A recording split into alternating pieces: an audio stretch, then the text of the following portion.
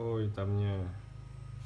Oke kita recheck lagi. Kita clean.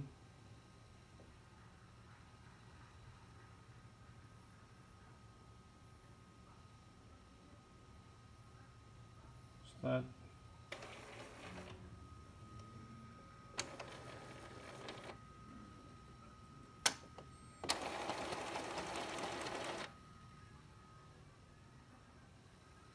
ini untuk maintenance printer ringan-ringan aja. Bawaan dari aplikasi. Sebelumnya sudah di reset di setting. Terus ini tintanya sudah diisi penuh. Kita tes untuk warming up tadi pemanasan. Ada warming up yang printer itu. Oke. Okay. L120 Epson. Ini enggak ada sandaran kertasnya.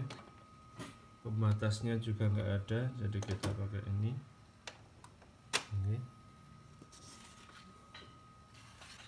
Kita cek ulang.